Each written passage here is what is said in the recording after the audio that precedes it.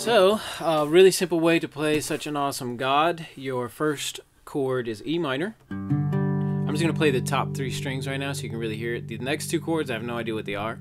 Um, the fingering is index finger third string, middle finger on the first, and ring finger on the second. That's your second chord. And all you're going to do is slide this same fingering up two frets. And you go back to E minor. That's pretty much it. It's that simple, three those three chords.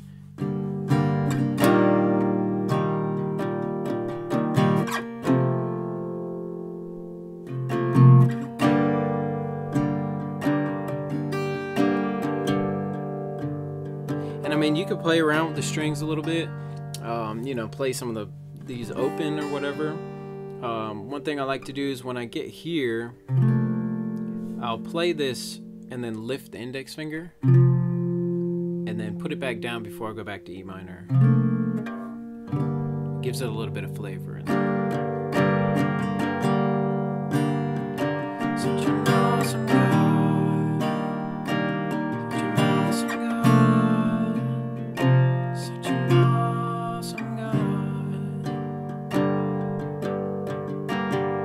It's that simple.